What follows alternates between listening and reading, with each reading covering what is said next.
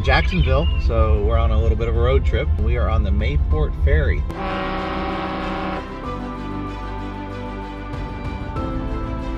We're headed to Big Talbot Island State Park.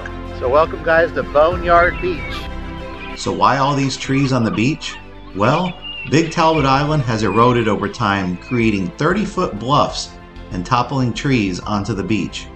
After years of being washed away by salt water and bleached by the sun, these trees become white and bone like, leading to the name Boneyard Beach.